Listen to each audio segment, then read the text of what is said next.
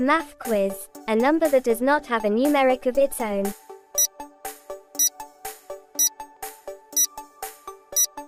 Correct answer, 0. What is the perimeter of a circle also called?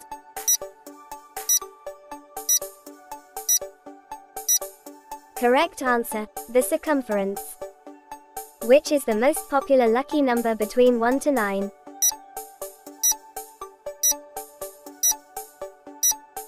Correct answer, 7. Who is the father of mathematics?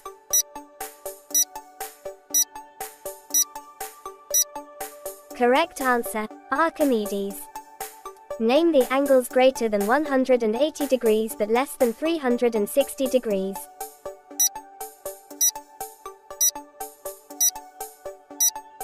Correct answer, reflex angle. Comment your score honestly. I will be delighted to know that you keep on engaging, learning and enjoying my videos. And please do like, follow, share, and subscribe. Happy learning!